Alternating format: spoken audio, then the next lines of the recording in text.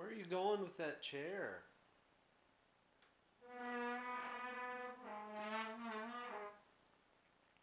Sweetie?